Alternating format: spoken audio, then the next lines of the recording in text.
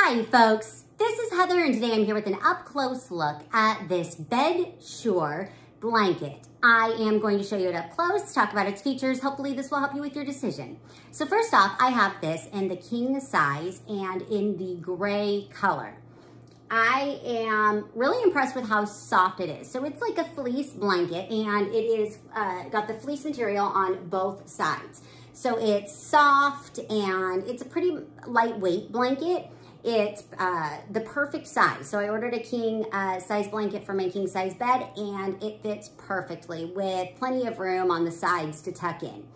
It's hemmed very nicely. It has a, a thick double stitch there. So I can tell that it's going to hold up uh, for a while. It doesn't have any fraying or shedding either, which I definitely appreciate. I love how easy uh, this blanket is to care for and clean. I just throw it in the washing machine and then the dryer and it's good to go.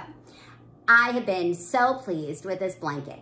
I hope that this up close looking information helps you make your decision.